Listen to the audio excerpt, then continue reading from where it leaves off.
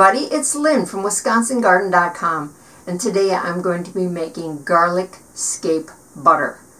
Now most of you probably know what a garlic scape is, but if you don't, when you plant garlic in the fall, you plant just one little clove of garlic. Put it in the ground, it goes all winter, comes up in the spring with nice leaves, and then suddenly there is this curly little extension that's coming out and that's where the flower would grow. Okay, so, and it's really funny because, well, this one isn't, of course. They're usually very curly. And this is what they look like. This is where the flower would actually form. This is where we cut it off of the stem. Now the reason you don't want to let the flowers form is because you want all the energy from the sun to go into the bulb in the bottom, in the ground, because you want that as big and as full as possible. If it went to flower, the energy would go to the flower and then the seeds. We don't want the seeds. We just want the bulb.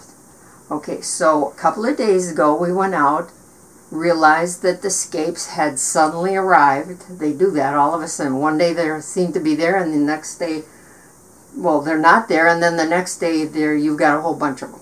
So we picked them and didn't have a chance to get to them right away, so they've been in a plastic bag in the freezer. We ended up with three bags like this.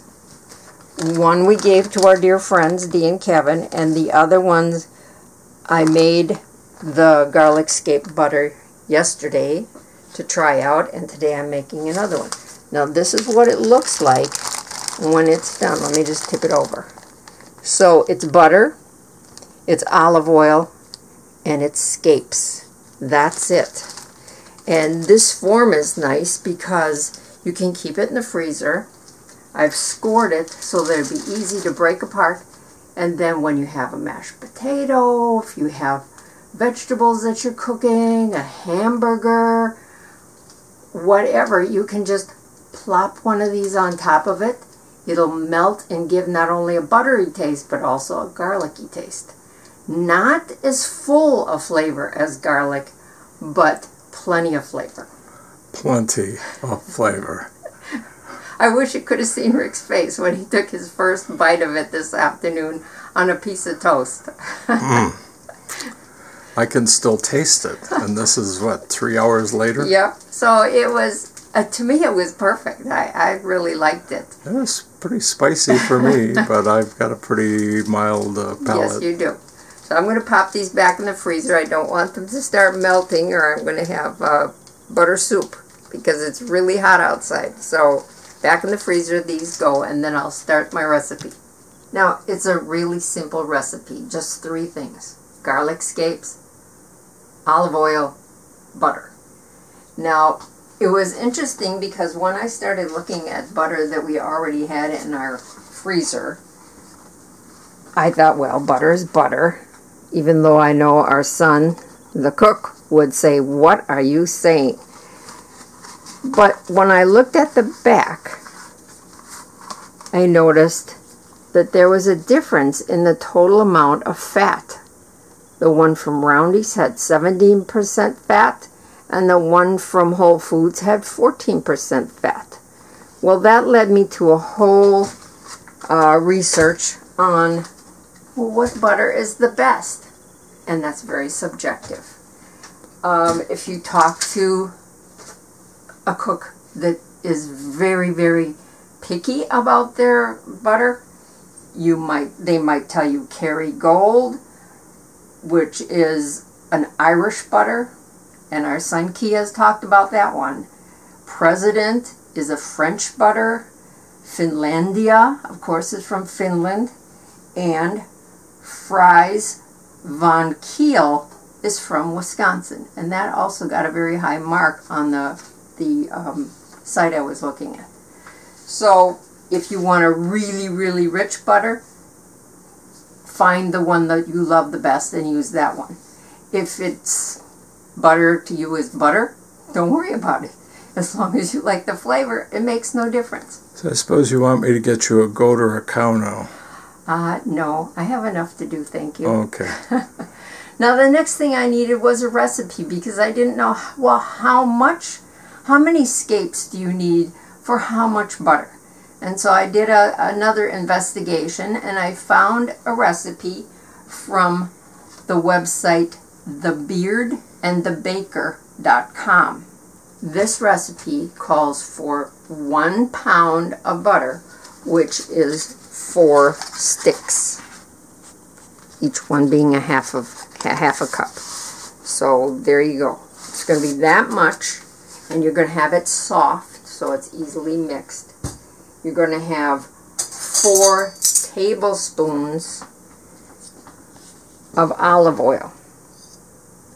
And again, there is a whole variety, a whole family of olive oils that you go way over with wonderful olive oils. Ask Mr. Wonderful about that one.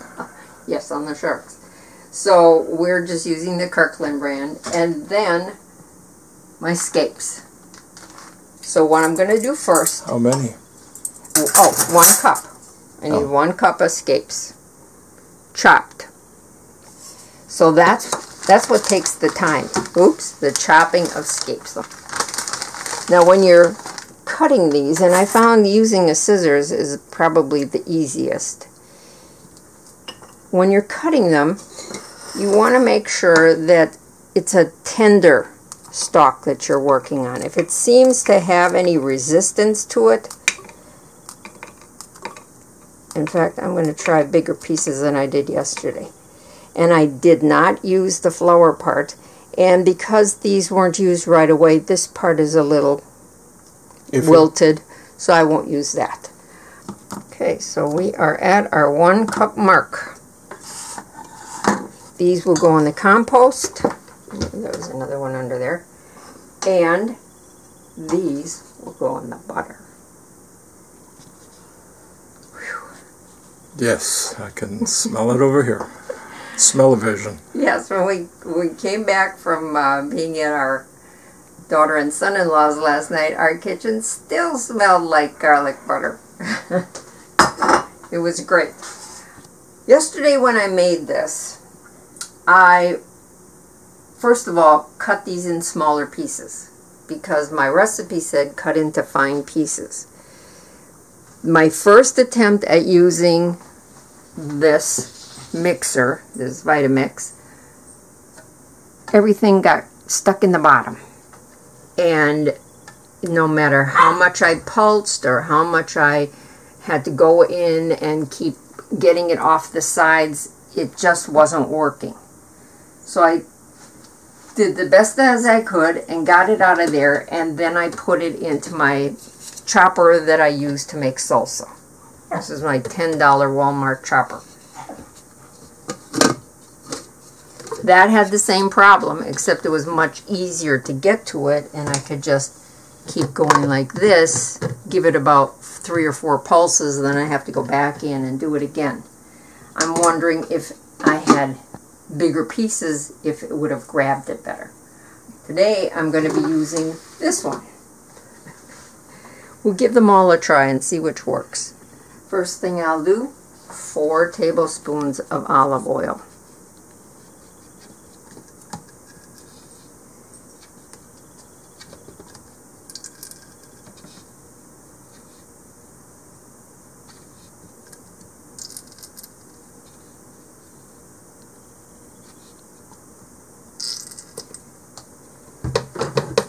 Could simplify this whole process. How's that? Just use olive oil. Next, scapes.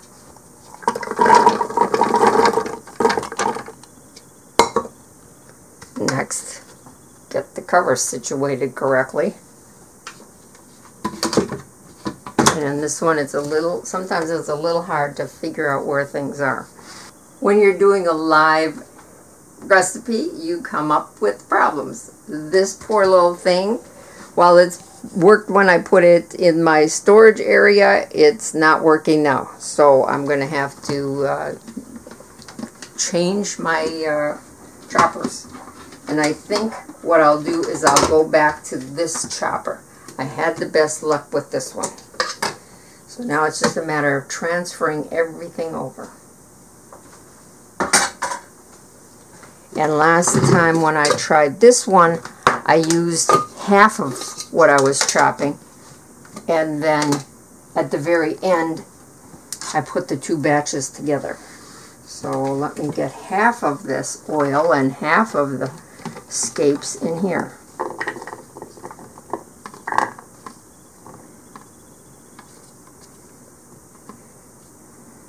Why not put in more. To see what happens? I don't think I should put more than that because when I'm making uh, salsa, I know if I overfill it, it doesn't chop evenly. Alright, so let me just get this on here.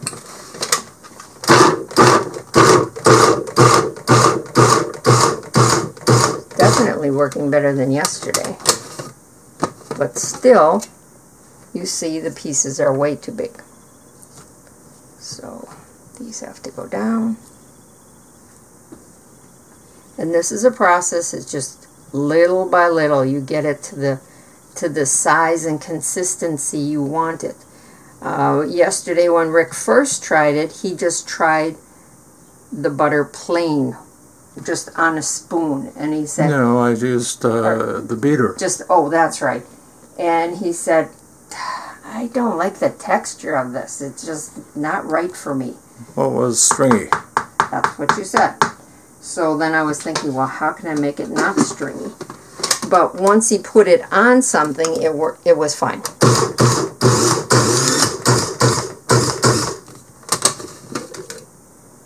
Why not just keep it running? because it'll just all stay up on the sides. It won't, it won't uh, chop at all. It'll just chop initially, and then everything will be on the sides, and it'll just spin around doing nothing. This is actually this is pretty good. I think having bigger pieces was the trick. You want to see what happens if I just didn't? Nothing happens because the, the beater has just done what it's going to do and it won't do anymore. Alright, so now I'm going to take this out, put it in a little bowl, and do the, the second half.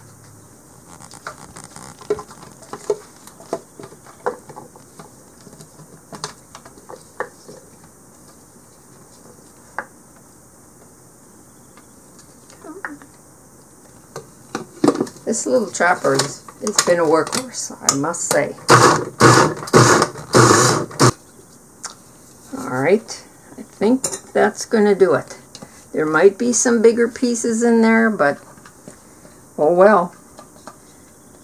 Now, at this point, you could also chop up other things and add them. If you like cilantro, you could put that in there. Chives, uh, dill, parsley.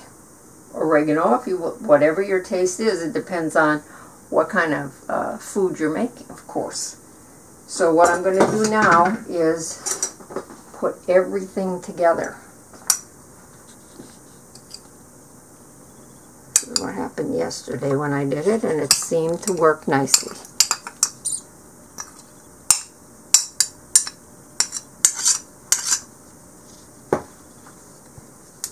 Come on, you guys. You want to be part of this? Get in there. Hmm. I tell you, if you have sinuses, this would be a great time to make garlic butter. They always say that people who worked in onion factories never got colds or sinus problems.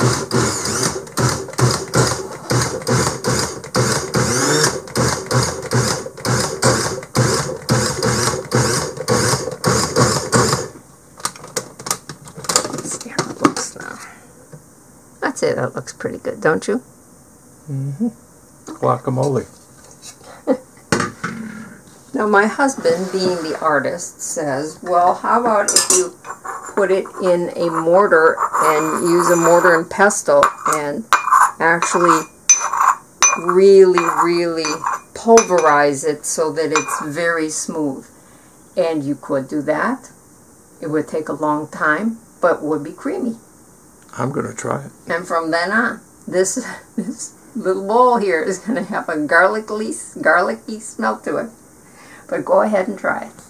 Thank you. The next step is the butter. Now it's got to be soft. You don't want it to be in chunks. And you have to whip it up first so it's fluffy.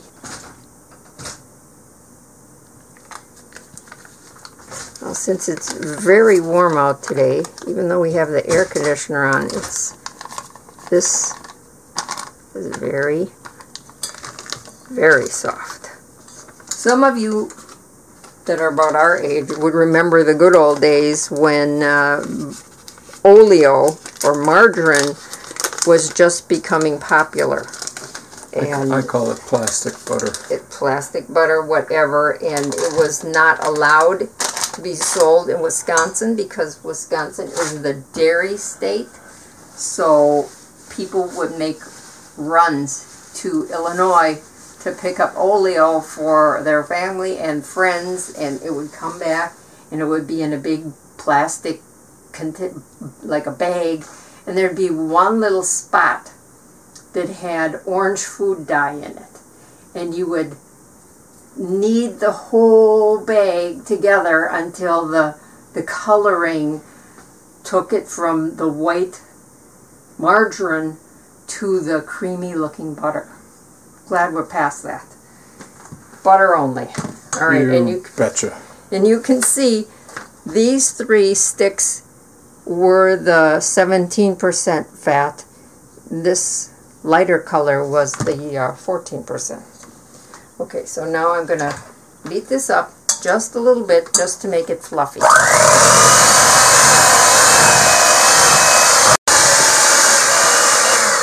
And that should do it. Okay, so there we go.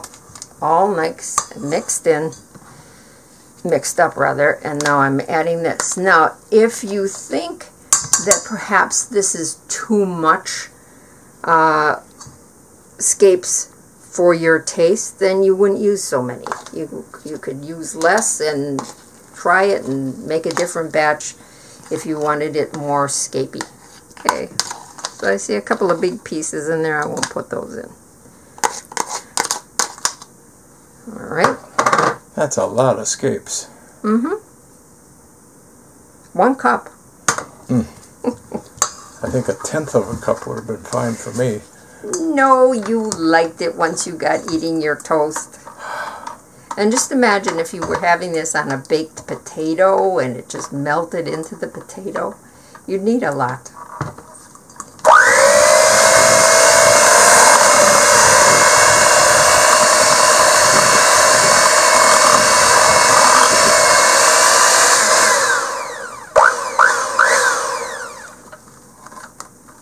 Just like the oleo went from white to, to goldeny buttery. This one from buttery to nice and green. Looks like uh, St. Patrick's Day. Now there's a couple of ways you could store this. Probably you're not going to use it all at once. so you could put it in little containers like old uh, butter containers or Tupperware and then just scoop it out. If you're going to be using it within a week or so just scoop it out and use it while it's still soft.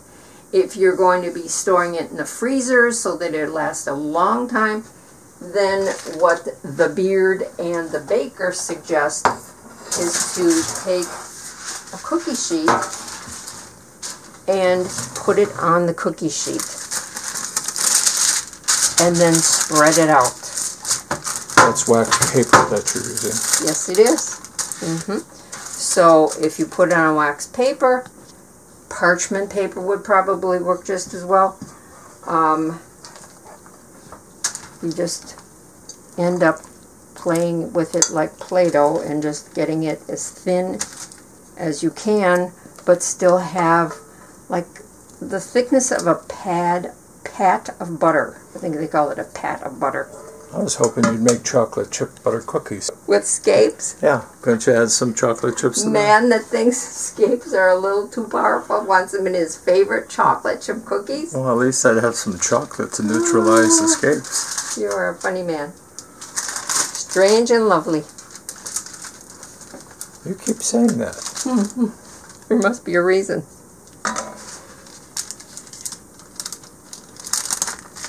This is probably the hardest part of this whole recipe, to get it thin enough.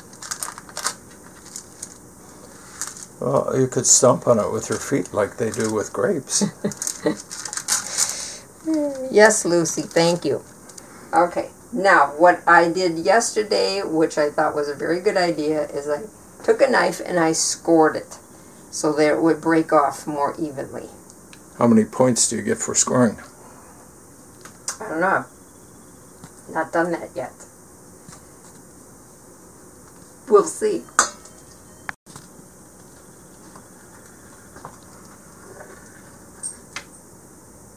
And I also made stripes. I didn't know when I did this how easily it would break apart once it was frozen. Actually, it wasn't too bad, but they were irregular. So if you like to have things that look pretty and similar, then obviously you have to do a little bit more work. I suppose you could use an ice cube tray. Uh, n- no, it would be really hard to get it into the ice cube tray at this point Hmm. because it's too soft. What if you put it in a bag, like decorating a cake? You could, you could, yeah, you could squeeze it into a um, a plastic Ziploc bag kind of thing. Um, again, once it's frozen, you wouldn't be able to get it out of the bag. You wouldn't be able to squeeze it because it'd Well, be you wouldn't. You Oh, wouldn't, wouldn't. freeze that. You just Well, you- put it in there so that you could squeeze it into the ice cube tray. Oh, oh, that way. Well, from that point on, you could never use your ice cube tray for anything but garlic. I hate to tell you. Garlic, garlic ice cubes. That would be a good way to save your garlic. If you didn't want to do this, you could just chop them up into smaller pieces, uh, put them in an ice cube tray, and add a little water. Okay, so here we go. And then this will just go downstairs in our big freezer. Yesterday, when I did my little tray that I was taking out to our daughters, it only took about an hour for it to to freeze to a good point because it's so thin, so it's not going to take too long. Well, I made a trip to the freezer to put the uh, scape butter down there. Rick tried out the mortar and pestle to see if he could get it into a finer form, and he did. But we have to remember that it had already been chopped up by the um, electric chopper, and then he did an extra chop or extra pressing with the mortar and pestle. Yeah, but I still wasn't pleased with that because I wanted to be creamy. I really wanted to take it down. to so liquefy it. I even add a little extra uh, olive oil to Yes. It. Now, my question was if you had a lot of scapes and you wanted to preserve them, I know you freeze them and that way they are viable for a long time. Yes. But could you not take, if you had enough of this, Mm-hmm. and let's say a half a bottle of uh, olive, Olive oil, oil. could you not preserve the scapes in olive oil? Well, we kind of thought about this earlier because when your mom was still alive, she would take garlic and put it in oil, olive oil, and keep it in the refrigerator for a long time. Um, then there was some news out that said if you do that, you have the um, possibility of having botulism form in the olive oil and the garlic because there is no acid and there is no sugar in there to help preserve it. Even if you heated that up or Well, I'm or sure you could, when you buy uh, garlic in the store and it's preserved in oil, it's been processed and you get it in a sealed glass that has been processed and sealed with heat. And then when you open it up, you have a certain length of time where it's safe to use it. So I feel safer freezing it. And uh, it's up to you if somebody's got an idea about that or has used garlic in just saved in olive oil. We'd love to hear about that. Yeah, because that'll be uh, coming up shortly when we have to uh, harvest all of our garlic. I'd really like to, to preserve it some way differently than just hanging and drying. Mm-hmm. Now remember, once it's frozen, then you can take it, you can break it up into pieces, put it in plastic bags. I've been putting them in two bags so the garlicky smell doesn't escape. And then you can use them as you need them. You could give it as gifts. Um, it might be a very cool gift for a nice somebody that likes to cook. It would be fun. Be sure to try it yourself to make sure it's something that you like and you can talk uh, well about it. If you enjoyed this video, please give us a thumbs up. And as we said, if you have a comment or a question or some tips for us, we'd love to hear about it. And also, if you'd like to become part of our garden family, there's that little orange reddish button over here just click on there. Thanks for watching. Bye for now. Connect with us on YouTube.